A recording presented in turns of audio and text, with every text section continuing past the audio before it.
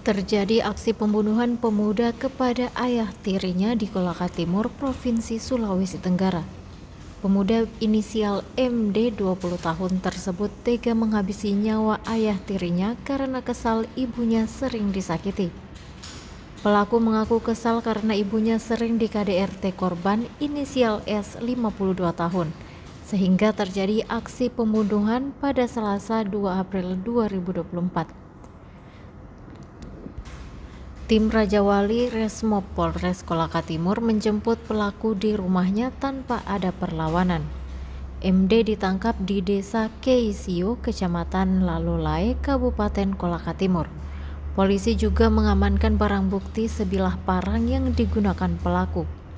Pelaku kini dijerat dengan pasal 338 KUHP sub pasal 351 ayat 3 KUHP.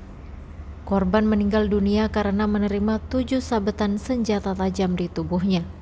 Sempat dilarikan ke puskesmas namun nyawa korban tak selamat hingga akhirnya meninggal dunia.